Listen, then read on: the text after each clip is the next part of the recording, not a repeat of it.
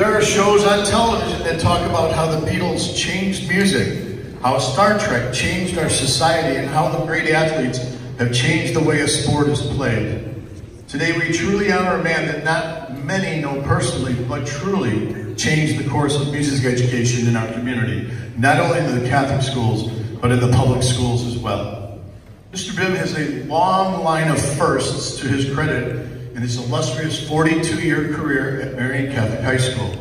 And tonight we will hear many of these firsts, and when we speak of Mr. Bimm, it is always synonymous with Marian Catholic, so bear with me if I weave back and forth the names. I first met Mr. Bimm 39 years ago today at State of the Art. He was performing the G Symphony with the symphonic band that day, and I was in awe of the technical and musical artistry that such young student musicians were capable of. I stood in the doorway of Driscoll Catholic Gym, and when he walked by, I extended my hand in congratulations. I knew that this man was going to be something special for music education, and I wanted to be close to him as long as I could. That year, 1980, Marian Catholic was the first band to win state-of-the-art Catholic band competition. Uh, Greg pushed the envelope of band literature and directors were constantly on the hunt for new materials to perform with their bands in order to keep up. Greg forged the way for many bands to have the opportunity to explore all of those works. Under his direction, the band has grown from 55 members in 1977 to over 280 members Mr. Bimm was the first director to achieve these great feats of recruiting without the staff that some schools have today. From 1977 to 1986, he did it mostly on his own without an assistant director. And this is why the Marian Catholic Band Program has become one of the premier high school bands in the United States. The Marian Catholic Band was the first lab band to be invited to the 1981 Summer Marching Bands of America Festival where Mr. Bimm explained to over 300 band directors how his use of the upperclassmen in the band for music sectionals and marching squadronals helped him in moving the band forward to the forefront of excellence that every band would want to achieve from then on. Mr. Bimm then forged on for another first with five consecutive summer national titles in 1984, 85, 86, 87, and 88. In the 1980s, the Marian Catholic Band was the first band to win three grand championships consecutively at Bands of America in 1987, 1988, and 1989. And that is a record that stood for over 20 years and still holds the record for seven grand national titles overall. As the band began to grow, they began their impressive list of over 1,000 awards to date, including in the list, included in the list of honors are 39 consecutive State of Illinois Marching Class Championships for their class, 18 overall state championships. From 1977 to 1988, the band received consecutive superior ratings at the IHSA concert band festivals, and several of those years received perfect scores from three judges. The concert bands have performed at numerous major state and national conventions and have remained undefeated in the state-of-the-art Catholic high school concert band competition for 39 years. They have won 10 University of Illinois Super State competitions and 10 Illinois State Concert Band Festivals. The Marian Band was the first to win the National Catholic Band Directors Association Outstanding Catholic Band for four years in a row. They have made three appearances at the National Music for All National Concert Band Festival. The Marian Marching and Concert Band's educational and competitive philosophy have been used as models for band programs in nearly every state in the Union. In 1985, the band was invited to do a double performance at the National Band Association Convention in Tennessee, a field show followed by a formal symphonic band concert. The performance was early in June and only left 17 days to prepare for Summer Nationals. So new arrangements had to be written, a couple of older ones were used to complete the show. The kids were amazing and ended up winning the 1986 Summer Nationals with a show that was essentially 17 days old, hence the legend of the 17-day miracle was given to this event. The Marian Band has appeared in the Macy's Parade, President George W. Bush's inaugural parade, the Rose Bowl Parade, is one of the first programs in the country to have been awarded both the Sudler Flag and the Concert Band Excellence and Sudler Shield for marching band by the John Philip Sousa Foundation. The Marian Catholic Band was the first band to be included in a documentary educational film about the history of bands in America. Mr. Bimm was the first band director ever to be named in a TV show, Grey's Anatomy. A former, former oboist and color guard member who is currently the creator and executive producer wrote a scene where a patient comes into the ER. This patient was a band member and has collapsed because of heat exhaustion in the parade.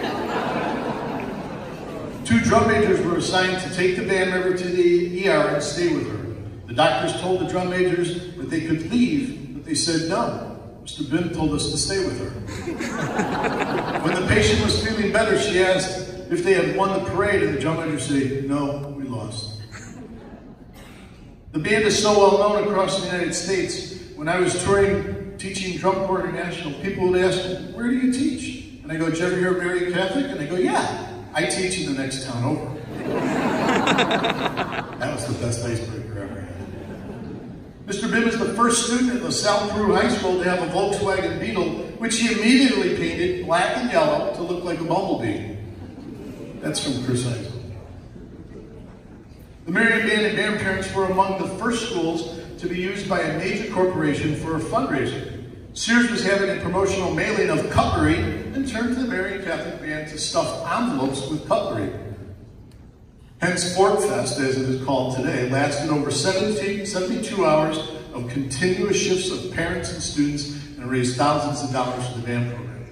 Mr. Bimm received numerous, numerous National Band Association citations of excellence, was named the 1983 national winner of the ASBDA Stanbury Award for Young Directors, and received the Sudler Order of Merit from the John Philip Sousa Foundation in 1991 and 1997. In 1995, Mr. Bimm was the first high school band director to be invited to conduct the Illinois All-State Band. In 1999, he was the first to be awarded the Mary Hoffman Award of Excellence by the Illinois Music Educators Association, and in 2000 was recognized for his contribution to and support of arts education by the Illinois Alliance for Arts Education. In 2005, Mr. Bimm was elected to the Music for All Bands of America Hall of Fame and in 2006 was named a Lowell Mason Fellow by the National Association for Music Education. In 2010, Mr. Bimm was given the Distinguished Service Award by the Archdiocese of Chicago and was the first member inducted into the Illinois State University College of Fine Arts Hall of Fame. In 2012, Mr. Bimm was awarded an honorary doctorate in music education by the VanderCook College of Music. In 2013, Mr. Bimm was the first active band director to be awarded the Chicagoland Music Educator John Painter Lifetime Achievement Award, and in 2018, he was the first alumnus to be inducted into the inaugural class of the Distinguished Alumni at LaSalle Peru Township High School, where he attended high school. Mr. Bimm was elected to the membership of the prestigious American Bandmasters Association in 1994. He holds degrees from Illinois State and Western Illinois University. His professional affiliations include ABA, ASBDA, IMEA, MENC, NCBA, NBA, Phi Beta Mu, and Phi Mu Alpha. Is a current member and past chairman of the Bands of America Advisory Board. He served on the Illinois High School Association Music Advisory Committee and has served as Band Division Chair, District 1, and State Equipment Manager for IMEA. In 2018, Bands of America named the finalist Meeting Room after Mr. Bimm for his long string of appearances with the Marian Catholic Band at Grand Nationals. A record 35 appearances and 34 final performances.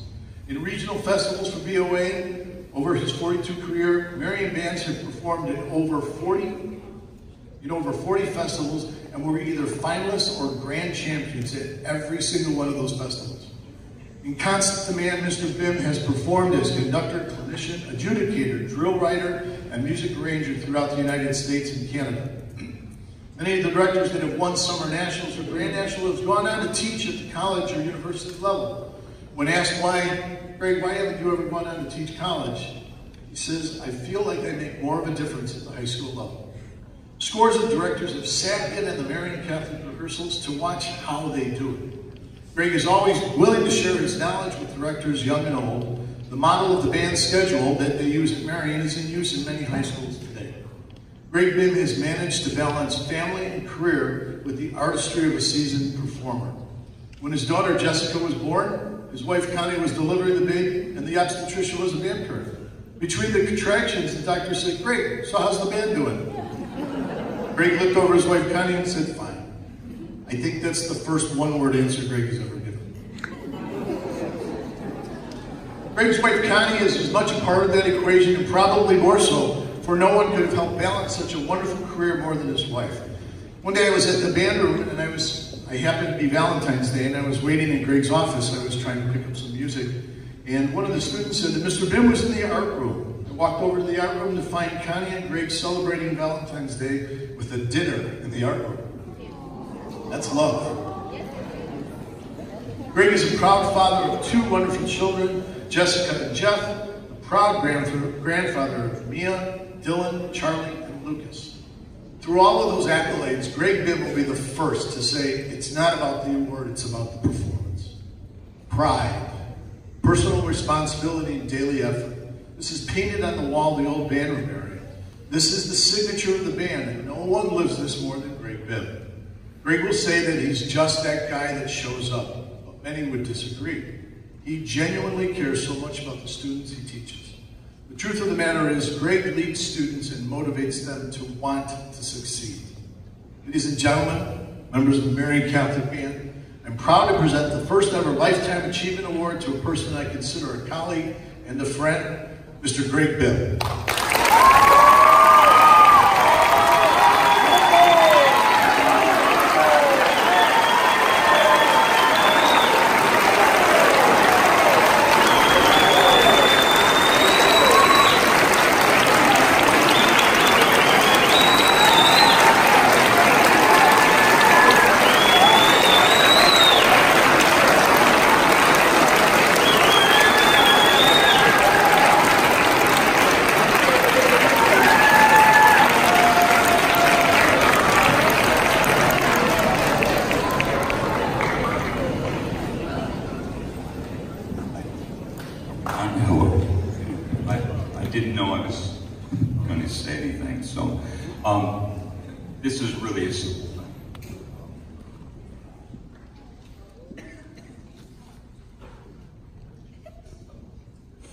Festivals like this have provided a place for us all to grow.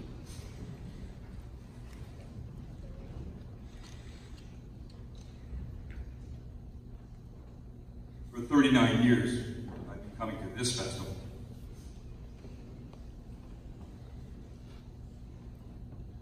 And I've had the opportunity to learn from amazing other people in different kinds of situations from me starting with the great Leo Henning. Um,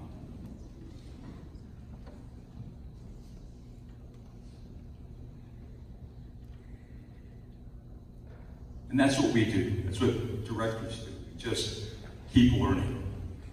It's a constant state of watching what works and what doesn't work, watching what's better, watching a new way to say something or think about something, watching everybody and everything. And that's what we do. Festivals like this have been a, a, wonderful ground for me to just come in and, and, walk around and say, okay, what did he say? That was, oh, that was good. I'm, I'm going to use that. We all do that. Or listen to another piece and go, oh man, I didn't know that one was there. And so we have been able to stand, all of us directors, we stand on the shoulders of the people who have gone before us. And with us, actually I guess you could say. For me personally, the bigger part though is um, all of that stuff.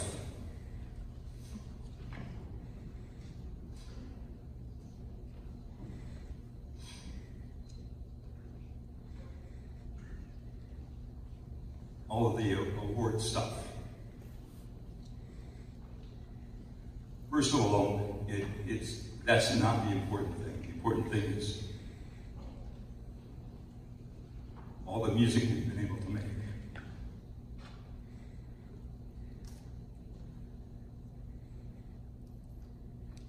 All of the sharing we've been able to do.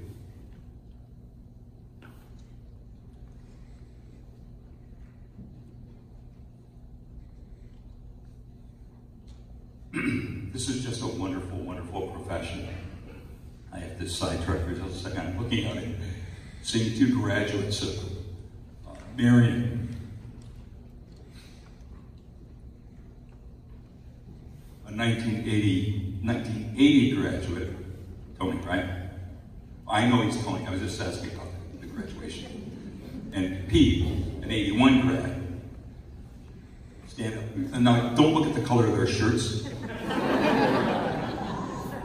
They're now, they're now band parents at Providence.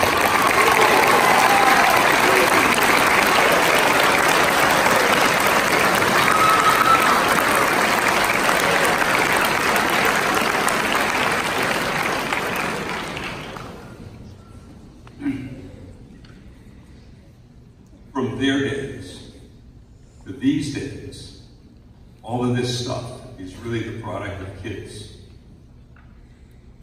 Watch. You hear anything at all? Nothing. It's a breeze. All the music has come from kids, hundreds and hundreds of kids. All the performances, whatever has been awarded, the band that played for the president or whatever we've done, it's always been the high school kids who have played. So this award is really on the shoulders of hundreds and hundreds of kids.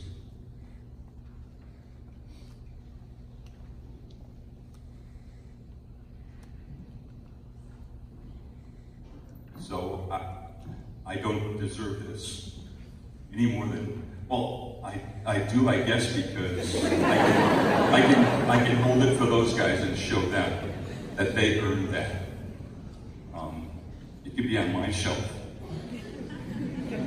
But really, it's 42 years of kids who worked hard and practiced hard, both together and by themselves. When nobody was watching, people were learning notes. People were learning how to play, learning embouchures, learning how to do air, learning how to make a crescendo, learning how to get better. And that's gone on for 42 years. And so all of this stuff, it's all of those guys. And in truth, all the rest of you students and every other band that's here, we're all in the same business. And so all of us should celebrate that, that these kind of things are possible on the shoulders of wonderful, hardworking high school students. So I thank you all.